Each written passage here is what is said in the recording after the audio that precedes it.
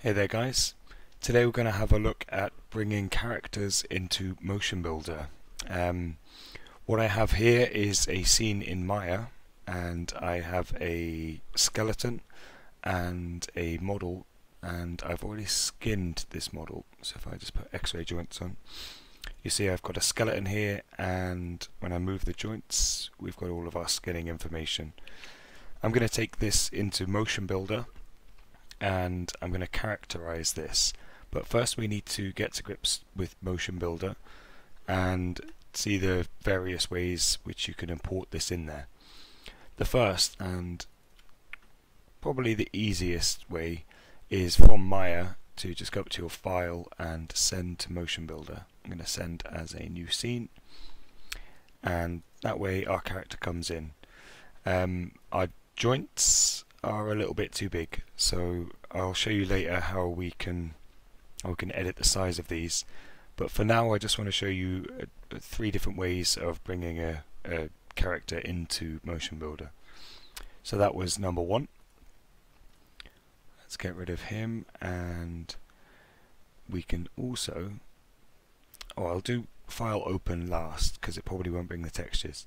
Uh, the second way is in our asset browser down in the right hand corner here. Um, if I click right click and then add favorite path I'm able to select a directory from anywhere from my computer for from a USB stick. Um, in this case it's from my documents. So if I go to my documents if I could just find them. Ah, and locate my Maya folder.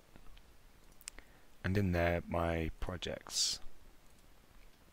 So I've got this model saved in a folder called base meshes so I'm going to click OK and now you see base meshes has been added to the asset browser.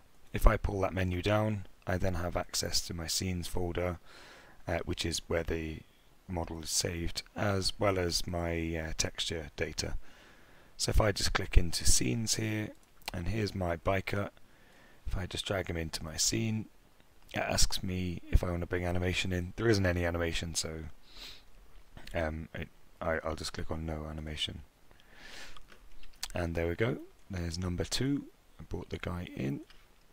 Let's get rid of him and look at the third method. So that's just the simple file and open. Um, same process as you're likely used to in other packages, but I'm saving this to last just in case it doesn't bring in our textures. So let's file, open this guy, and this also gives us an extra dialog box with lots of options of what we want to bring in. Now, um, it's split into element and animation. There's no animation on this guy, so I, I technically could untick all of these things, but I'm just going to leave them as is.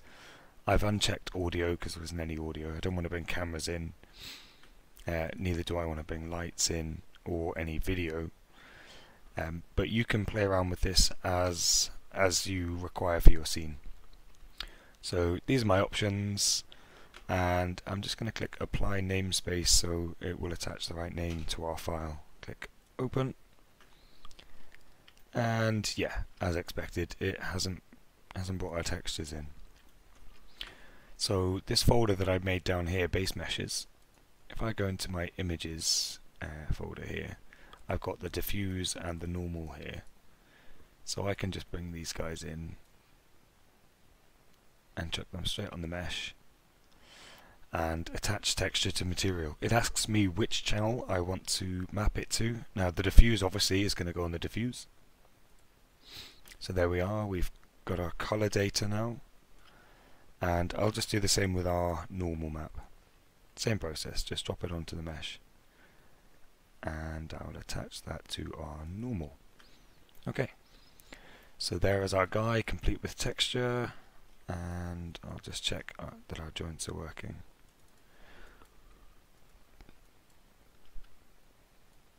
Yep, and he is working as I wanted him to. Okay, so the next thing we need to deal with is this overscaling of the joints. So if I, let's locate one of our joints here. If you click on anything in your viewer, over on your left hand side in your navigator, you'll see there's a highlight on scene. So if I pull that menu down, it then also shows me another highlight and it keeps on showing me highlights until I actually get to the joint that I've got selected. So we just want to locate our, our joints. So here's our joints, right click and select branches. That selects everything that's in the hierarchy, similar to Maya when you say select and then hierarchy.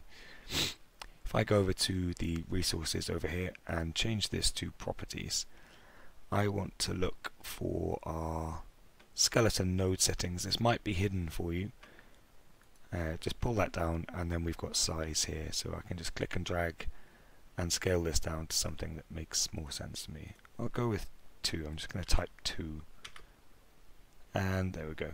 2 looks fine. Oh, oh I've lost him. If ever you lose things, select them and just press F and you can frame them. Okay, there's our guy and everything still works fine. Cool. In the next video I'll show you how to characterize this guy so that he can have a control rig put on him and once you've got a control rig attached to a character in Motion Builder that's when the fun starts because you can start to attach um, any kind of animation data in particular motion capture data so uh, we'll have a look at that next video. Take care.